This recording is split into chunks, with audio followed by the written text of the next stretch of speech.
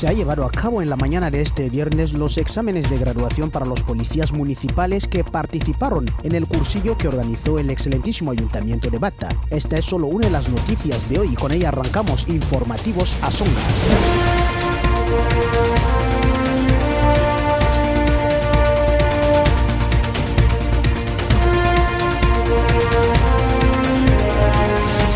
Buenas noches tengan y sean bienvenidos a este informativo en el que vamos a repasar ahora la actualidad nacional e internacional. Hoy es viernes día 13 de junio y empezamos el fin de semana con el siguiente sumario.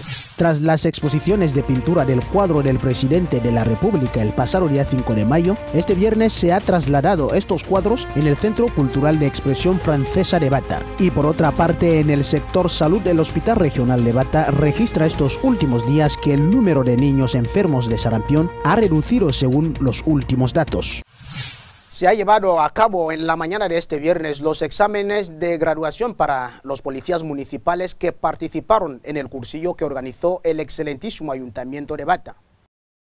Dichas pruebas estaban divididas en siete módulos de acuerdo a las asignaturas vistas durante el periodo del seminario, así como conocer la capacidad de cada participante, por donde han concurrido alrededor de 150 participantes de ambos sexos, los cuales deberán demostrar en esas pruebas todo lo que han adquirido durante los tres meses que han estado en las prácticas en los diferentes puntos de esta ciudad de Bata. Según los agentes de la Policía Municipal, estos exámenes sirven para seleccionar al personal de dicho cuerpo de acuerdo a la calificación que va a obtener cada uno durante estos exámenes de graduación. A dicho acto han estado presentes Justino Ela Eco, teniente alcalde encargado de la Policía Municipal y agentes de la Delegación Provincial de Tráfico y del excelentísimo Ayuntamiento de Bata.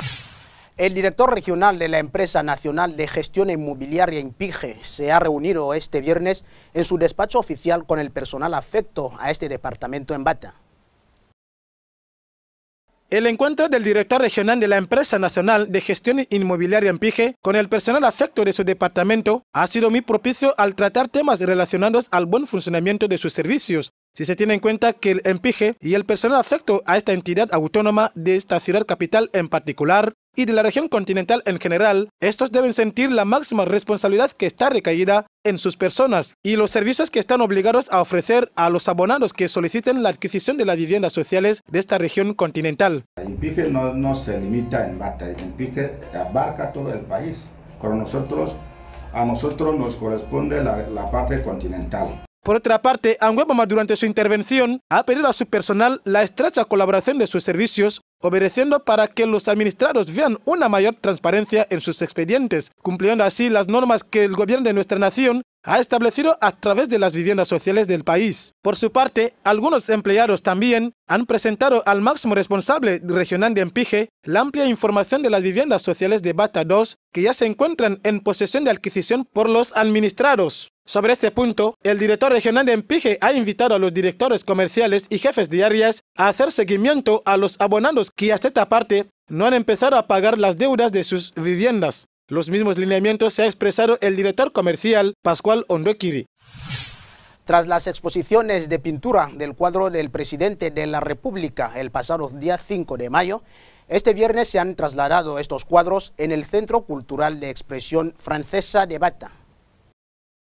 El concurso de pintura realizado en la explanada del Centro Cultural Guineano de Expresión Francesa de Bata el pasado 4 de junio fue en que los concursantes tenían que pintar el cuadro del presidente de la República, jefe de Estado y presidente fundador del Partido Democrático de Guinea Ecuatorial, su excelencia Teodoro Bianguema Mbazogo, cara al 72 aniversario de su natalicio. Es por ello que este viernes se han trasladado dichos cuadros a la sala del Museo del Departamento de Cultura y Turismo, cuya sede es el Centro Cultural Guineano de Expresión Francesa de esta capital. Tras esta exposición, el director del centro, Laureano Ono, ha invitado a todo el público asistente a este acto a visitar estas manualidades. En el sector salud, el Hospital Regional de Bata registra estos últimos días que el número de niños enfermos de sarampión ha reducido según los últimos datos. El sarampión es una enfermedad muy contagiosa y grave causada por un virus que se transmite por la tos y los estornudos, el contacto personal cercano o ponerse en contacto directo con secreciones nasales infectadas o con secreciones de la garganta. Eso es lo que hemos sabido del director técnico del Hospital Regional de Bata, Eugendo Ntutumu, quien además ha explicado que el sarampión afecta en primer lugar a los niños con la provocación de fiebres y erupciones cutáneas, siendo los casos más graves en los niños pequeños la desnutrición en primer lugar no es que ya no se da la importancia, ya no se nota la importancia que se le daba al sarampión anteriormente. Eh, eso pasa en el manejo de cualquier epidemia. Los comienzos son muy agitables. Entonces esta epidemia se comenzó a manejar en el mes de noviembre. Ha habido bastantes casos de sarampión. La mayor parte de los casos han sido tratados en nuestros hospitales. Los que se complicaron fueron ingresados y al cabo de quizá una semana de tiempo de manejo, sobre todo en las grandes complicaciones como son las respiratorias, los pacientes han sido egresados.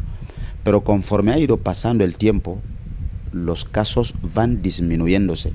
De hecho, la cantidad de casos que llegaba en una consulta externa, por ejemplo, al día se recibía como nueve casos Actualmente se está recibiendo como tres, como dos casos en consulta. Para cerciorarnos de esta reducción, hemos sabido que de 20 casos que se presentaban al día en el centro hospitalario, estos se han reducido en tres aproximadamente, lo cual supone una erradicación positiva en cuanto a su tratamiento. Por otra parte, un joven de aproximadamente 24 años de edad se encuentra tras las rejas de la Gendarmería Nacional de esta ciudad por un supuesto delito de alteración de orden público y de secuestrar a un bebé de su hermano. Se trata de Benjamín Julio Mazama, natural de Vitica del distrito de Mbini. Fue detenido en la noche del pasado martes en el barrio Santa Cruz de Bata por un supuesto delito de alteración de orden público consistente de una fuerte pelea con su hermano y cuando intervino la policía para mediar la pelea y separarles, el detenido secuestró uno de los bebés de su hermano, amenazándole por matar al niño si este no hace que la policía se marche. Estuve en casa durmiendo en el comedor, de los testigos, mi madre. Vino y me dio dinero de que vale, tengo que ir a, tengo que ir el vinayo mañana mismo, a comenzar el trabajo de, de vinayo mañana Después cuando llamé a mi, a mi y a mi primito, así, mi primito de que vamos, vamos a tomar un poco de malamba y después vamos a casa y a ver con nuestro hermano hace ensayo. Yo abrí la botella, empezamos a beber, a veces con mi hermano vino chuspi. Me dio el puño. yo me caí así con la, con la silla detrás. A veces cuando yo me entré en toda la casa, cogí el hacha y el cuchillo. Es cuando cogí la, yo cogí la niña y gracias por la intervención rápida de los efectivos de la Gendarmería Nacional de Bata que pudieron rescatar al bebé de sus manos, el niño se encuentra en buen estado de salud con sus padres, mientras que su secuestrador está ahora retenido en la Gendarmería a la espera de ponerle a disposición del juez. Un joven de aproximadamente 34 años fue detenido por la patrulla de las fuerzas terrestres en la noche de este pasado martes por un presunto delito de introducir inmigrantes ilegales en la frontera de Kiosí, esto en Ebibín.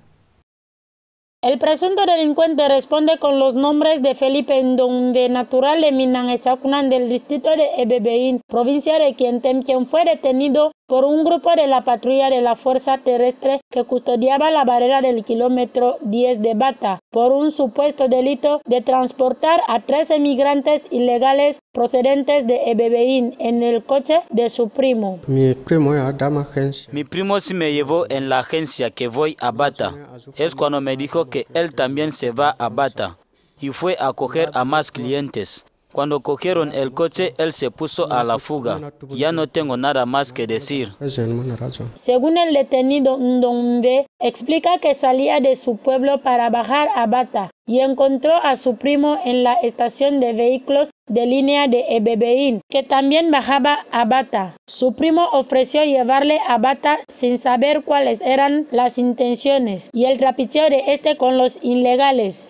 Durante la ruta, este se desvió del camino diciendo a Felipe que se iba a coger a su mujer, cosa que no era cierto. y al llegar en la barrera donde la seguridad les intervino, el presunto transportador de inmigrantes se echó a la fuga entrando en los bosques para escapar con los expatriados Mamadou Traoré, Abduro Dolo y Usman Dolo, todos del origen malí, los cuales se encontraban en Ebebeín desde hacía cinco meses.